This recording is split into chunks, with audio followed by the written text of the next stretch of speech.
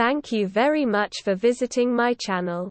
If not difficult, like and subscribe to my channel to always be aware of events. Thank. David Beckham has shared a moving tribute to the Queen following her state funeral in London on Monday.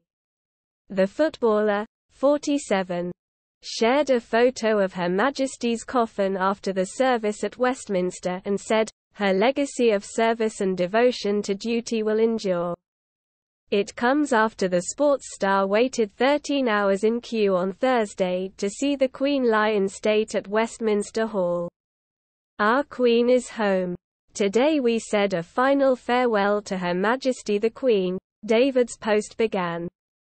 This week the world has mourned the loss of a unique, inspirational and caring leader. People from all walks of life came together in their thousands to show gratitude for our beloved Queen. David said the nation will never forget Her Majesty's lifelong devotion to duty. Alongside the incredible ceremony and tradition we have watched a loving family grieve for a mother. David's wife Victoria, 48, also shared a tribute to the Queen this week, saying she was a powerful source of inspiration for everyone around the world. The ultimate icon in every way and the epitome of elegance, she will live on in our hearts and minds forever, Victoria wrote on Instagram.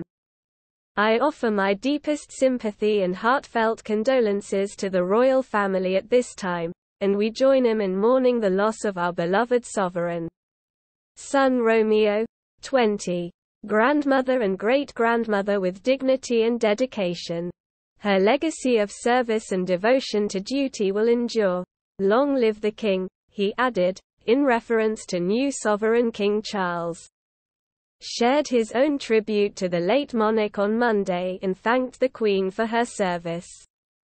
Taking to his Instagram he wrote, A moment in history as we remember. Mourn and celebrate the life of Queen Elizabeth II. Thank you for your service your majesty.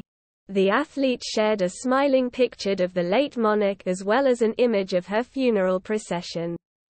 Meanwhile son Brooklyn Beckham, 23, shared several throwback photos of Her Majesty and her beloved corgis while thanking the monarch for her service.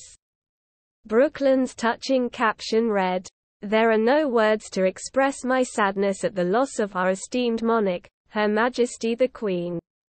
Collectively, as a nation, we can only hope to show the world what she has shown us with her leadership and grace. It is our duty as the people of Great Britain to carry on her legacy within each of us. In all of our actions and how we live our lives. Amidst the sadness, we have to remember that this is also a time to celebrate all that she did for us. We will be forever grateful. Rest in peace. Queen Elizabeth